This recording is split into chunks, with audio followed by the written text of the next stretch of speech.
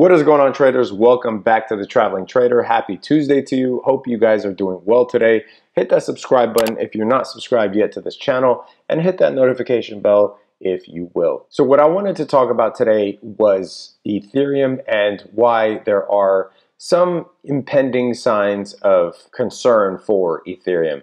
And I don't want to say that, you know, we're due for a crash or a flash crash, but why I think Ethereum might be pulling back or correcting soon. But before I do that, let us get into the cryptocurrency overall market health. We're currently sitting at 180.3 bill, still teetering in that level. If you remember, I went over the cryptocurrency total market cap chart in my last video or might have been the video before and I was saying that these conditions resemble what we saw back in 2014 2015 where we've tried to pierce through the 21 month EMA three or four times before finally punching through which is the same thing that we saw back here in 2015 but here, you know, we do have similar RSI levels. The MACD is coming from being majorly oversold, and we see the MACD crossover and this great volume coming in as well. So everything points to the possibility of us at least hitting 200 billion on the market cap. I still believe that is the case, and this 21 week EMA should hold for that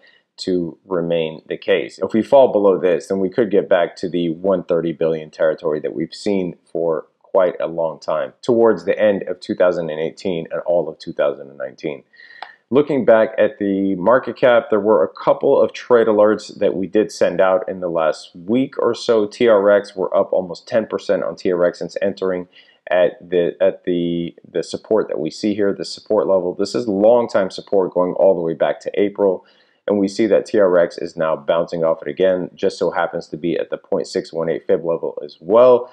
Theta, we sent out a trade alert for Theta last night and made 10% on that trade alert, bouncing off of historical support that has been that has been the support since early February 2019. If you want access to the trade alerts and you'll get trades like these and others, link is in the description as well. If you sign up to the Diamond Traders and above, you get the stock trade alerts as well as the you're automatically entered for the 0.03 Bitcoin drawing that I do on the first of every month. So if you want to be a part of that, sign up. Link is in the description. Looking at Bitcoin, Bitcoin on the one day is comfortably trading above the 200 day moving average. We see the cross obviously between the 50 and the 100. A couple of things to note here the on balance volume is steadily rising. This is a great sign. We haven't seen this since really 2017. The on balance volume all of last year has either been declining or has been flat as you see here in these tight ranges. But we are now seeing the on balance volume rising, meaning that more interest is coming back into Bitcoin. Shorts are pretty low. I think that the short sellers are afraid to short at the moment because they don't know what Bitcoin is going to do. So shorts remain at, at a low here. You do see we are majorly overbought on the RSI and the stochastic. The RSI actually hasn't been this overbought since 2017, since the famous bull run. So that is a little bit concerning because it does indicate that we might see a pullback or correction soon.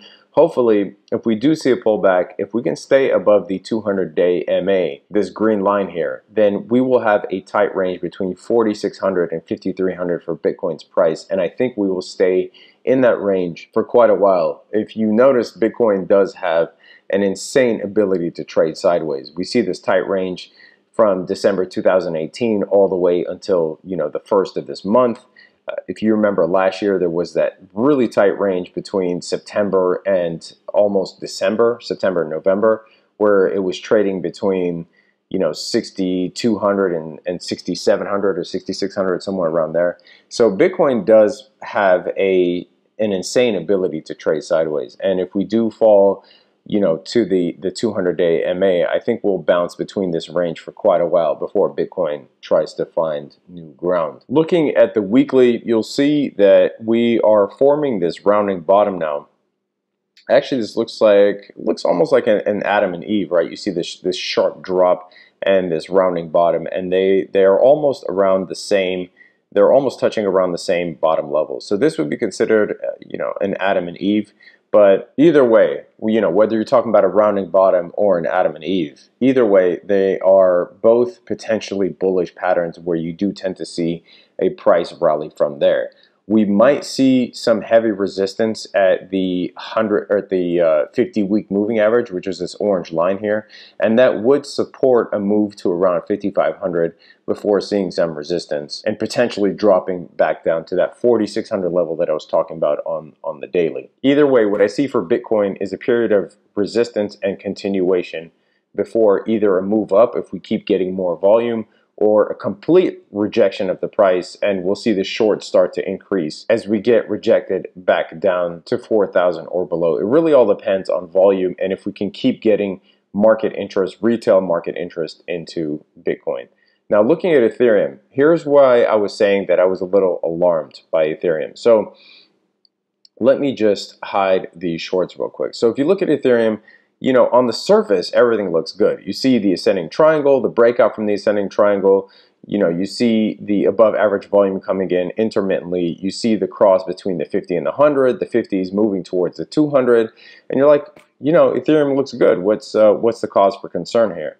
Well, the reason that it, the, the couple of, of markers that I see on Ethereum that are a cause for concern is one of them is the almost all-time low uh, shorts. Now, I, going back to, you know, as far as the data that I have here for the Bitfinex shorts on Ethereum, this is the all-time low. Now, the shorts are at an all-time low because if you notice here, when the shorts were at a swing high, and this might have been the all-time high for shorts, yeah.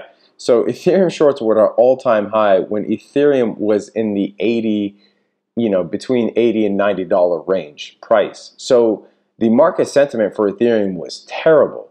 And the reason that, you know, or part of the reason that we see the, the shorts at an all-time low, and you saw the short sharp decline here, is because Ethereum jumped from $81 to, you know, where it's at today, around $176.